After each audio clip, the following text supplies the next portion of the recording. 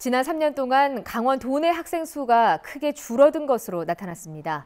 강원도 교육청에 따르면 원주 지역의 학생 수는 지난 2016년 4만 8,700여 명에서 올해 4만 5천여 명으로 7.4%인 3,600여 명이 줄었습니다.